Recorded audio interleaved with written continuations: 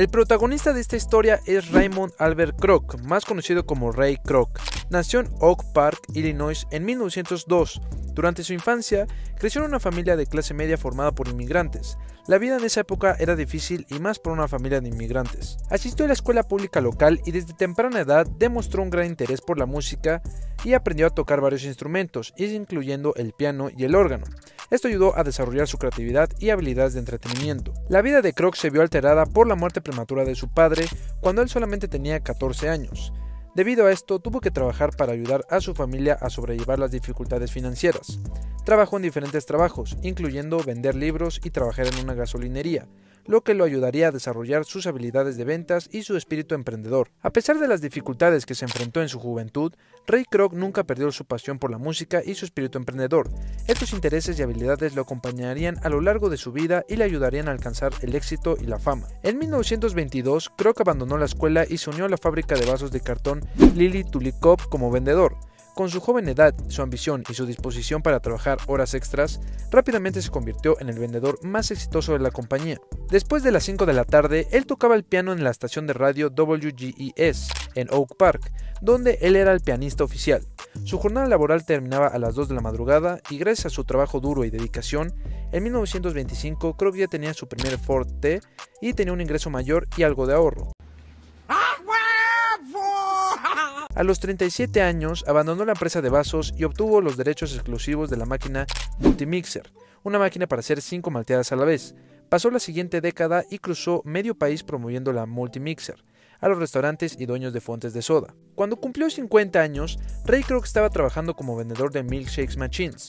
Fue en ese momento cuando se enteró de una pequeña cadena de restaurantes en San Bernardino, California, llamada McDonald's, que estaba utilizando su máquina de milkshakes. Creo que estaba intrigado por el negocio, así que decidió visitar los restaurantes y conoció a los hermanos Richard y Maurice McDonald, quienes habían creado un sistema de producción de comida rápida altamente eficiente. Los hermanos Richard y Maurice McDonald eran dueños de un pequeño restaurante en San Bernardino, California. A diferencia de los restaurantes de comida de esa época, los hermanos McDonald buscaban ofrecer una experiencia de servicio rápido y eficiente a sus clientes. Para poder lograr esto, desarrollaron un sistema de producción de comida rápida que se centraba en la simplificación y la especialización. El sistema de los hermanos McDonald incluía la eliminación de la mayoría de los platos de carta y el enfoque en un menú limitado de hamburguesas, patatas fritas y milkshakes. También introdujeron un proceso de producción lineal que permitía a los empleados preparar los alimentos de manera más eficiente y aumentar la velocidad del servicio. Los hermanos McDonald crearon un sistema uniforme para sus restaurantes, con el objetivo de crear una experiencia consistente para los clientes. Este enfoque innovador y simplificado revolucionó la industria de la comida rápida y atrajo una gran cantidad de clientes. Los hermanos McDonald convirtieron su pequeño restaurante en un éxito comercial y establecieron los fundamentos de la industria de la comida rápida. Durante sus visitas a diferentes negocios, Ray Kroc notó algo especial en este establecimiento, Tanta fue su curiosidad que lo llevó a acercarse a los demás clientes y preguntarles por qué parecían tan felices al comer las hamburguesas. Ellos le dijeron que habían disfrutado de la mejor hamburguesa que habían probado y que lo mejor de todo es que lo compraron a un precio de solo 15 centavos de dólar, sin tener que esperar mucho tiempo. Creo que estaba impresionado por el éxito y el potencial que tenía el negocio. Se unió a los hermanos McDonald para expandir su cadena de restaurantes a nivel nacional e internacional y en 1961 Kroc adquirió los derechos completos de la marca McDonald's y comenzó a liderar el crecimiento de la empresa. Como en una fábrica de autos, se creó el sistema de producción en serie que permitió mantener una velocidad muy rápida. Esto convirtió a la marca en uno de los primeros y más destacados restaurantes de comida rápida. En 1958 se habían vendido más de 100 millones de hamburguesas. Bajo la dirección de Kroc, la cadena se convirtió en una de las mayores franquicias de comida rápida de todo el mundo, con cientos de miles de restaurantes en todo el mundo. Antes, el sistema de franquicias de McDonald's requería que los ingresos de los restaurantes se dividieran en 50-50 entre la compañía y el franquiciado. Esto desmotivaba mucho a los franquiciados, porque sentían que trabajaron muy duro para tener que entregar la mitad de sus ingresos a la compañía. Ray Kroc vio que este enfoque estaba destinado al fracaso y lo cambió por completo. En su nuevo sistema de franquicias, McDonald's se encargaba de comprar el terreno y construir el restaurante, y luego rentar el espacio al franquiciado por una tarifa mensual fija. De esta manera, los ingresos de McDonald's ya no dependían de la cantidad de hamburguesas vendidas, sino que se aseguraban de un ingreso fijo a través de la renta y el franquiciado solo tenía que pagar el 4% de sus ingresos a McDonald's, lo que les permitía mantener una parte significativa de sus ganancias. Este nuevo enfoque motivó a más personas a franquiciar con McDonald's, y contribuyó al éxito de la marca. Gracias a esto, McDonald's adquirió un patrimonio inmobiliario de 23.000 locales a finales de los años 90. En 1961, Ray Kroc creó la Universidad de la Hamburguesa, debido a la creciente cantidad de contrataciones en McDonald's. Con esto, las personas interesadas en ser parte de la franquicia debían pasar por un periodo de entrenamiento y tomar una prueba final antes de ser contratadas. La Universidad de la Hamburguesa se estableció en Oak Brook, cerca de Chicago, y con el tiempo amplió su alcance para incluir a directivos de la compañía, franquiciados, gerentes de restaurantes y empleados. Esto ayudó a mejorar la competencia y el funcionamiento de las sucursales de McDonald's. El primer local en ofrecer asientos fue una sucursal en San Bernardino, California, Estados Unidos. Hasta ese momento los restaurantes de McDonald's eran puramente drive-thru o para llevar. El dueño de esta sucursal era el hermano Richard McDonald. Decidió ofrecer asientos para los clientes que desearan disfrutar su comida en el local.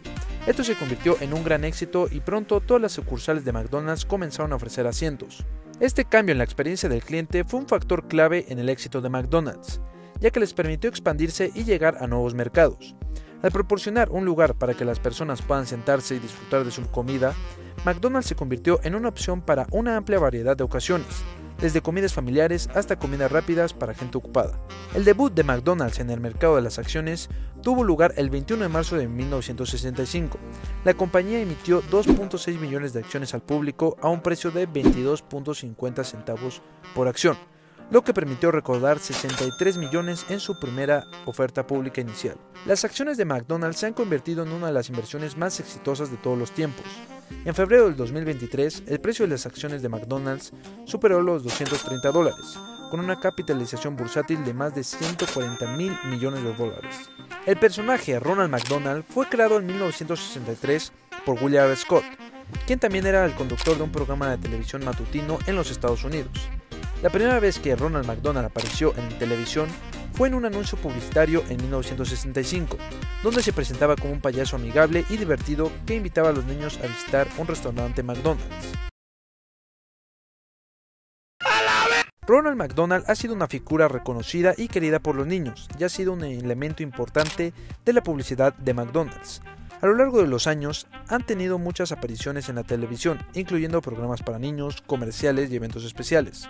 Además, también ha participado en campañas de caridad y ha sido un embajador para la marca en todo el mundo. McDonald's se extendió a más países en 1967 a través de una estrategia de franquicias internacionales. La compañía se asoció con franquiciados locales en cada país para abrir nuevos restaurantes y adaptarse a las preferencias culinarias locales. La expansión internacional de McDonald's comenzó en Canadá y se expandió rápidamente a países como Australia, Japón y al Reino Unido. En 1967, McDonald's abrió su primer restaurante en la ciudad de Toronto, Canadá, y estableció su presencia en el mercado internacional. McDonald's se convirtió en una marca global reconocida y amplió su presencia a más de 100 países en todo el mundo. En 1968, un nuevo producto se sumó a la oferta de McDonald's, el Big Mac.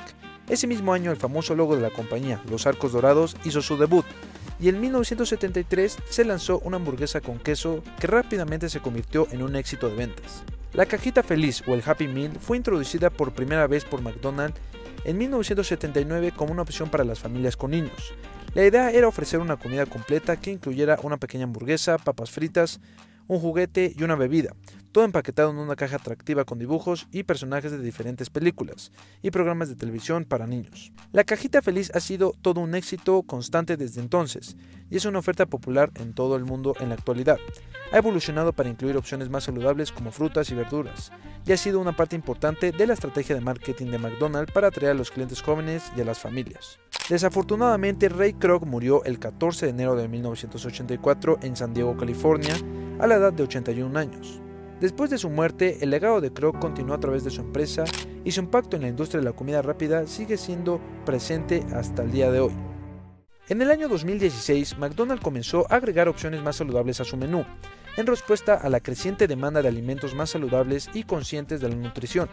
Algunos de los productos más saludables que lanzaron incluyen ensaladas con opciones de proteínas más saludables, como pollo a la parrilla y ensaladas con vinagreta baja en calorías. También ofrecieron opciones de menú para personas con intolerancias alimentarias, como opciones sin gluten. También agregaron frutas y verduras frescas como opciones de acompañamiento y ofrecieron bebidas sin azúcar y opciones de leche sin lactosa. Con estos cambios, McDonald's buscó amplificar su base de clientes y ofrecer opciones más saludables para satisfacer las necesidades y las preferencias de sus clientes. McDonald's es una de las marcas más reconocidas y exitosas de todo el mundo. Hay varios factores que contribuyen a su éxito. En primer lugar, su modelo de negocio de franquicias le permite expandirse a nivel mundial de manera más eficiente y rentable que si tuviera que construir y administrar todas sus sucursales por su cuenta. La compañía se ha adaptado constantemente a las tendencias y preferencias cambiantes de los consumidores, ofreciendo una amplia variedad de opciones en su menú, incluyendo opciones más saludables y personalizables. McDonald's ha mantenido una presencia fuerte y constante en la publicidad y el marketing, lo que le ha permitido mantener su presencia en la mente de todos los consumidores y construir una base sólida de lealtad hacia la marca. Todos estos factores combinados han ayudado a hacer que McDonald's sea uno de los negocios más exitosos en todo el mundo. Aquí van algunos datos sobre McDonald's. Dato número 1. El CEO de Amazon, Jeff Bezos, ha trabajado en la cadena de comida rápida. Muchos famosos han trabajado en McDonald's, incluyendo el CEO de Amazon. Es muy común encontrar a alguien que haya trabajado en McDonald's ya que uno de cada ocho estadounidenses lo han hecho en algún momento. Dato número 2. Se estima que McDonald's vende alrededor de 75 hamburguesas por segundo en todo el mundo. Esto significa que se venden alrededor de 2.000 millones de hamburguesas al año en todo el mundo. Dato número 3. París es el único lugar en el mundo donde los arcos de McDonald's son blancos en vez de dorado. Y dato número 4. La empresa de comida rápida es la mayor distribuidora de juguetes en el planeta el 20% de las ventas son cajitas felices. Llegamos al final del video, espero que les haya gustado. Si les gustó no olviden suscribirse y dejarnos un like. También nos pueden comentar qué es lo que más les gustó de esta historia y si quieren que hablemos de algo en específico, también nos pueden poner allá abajo en los comentarios. Muchas gracias por haber visto el video y nos vemos en un próximo video.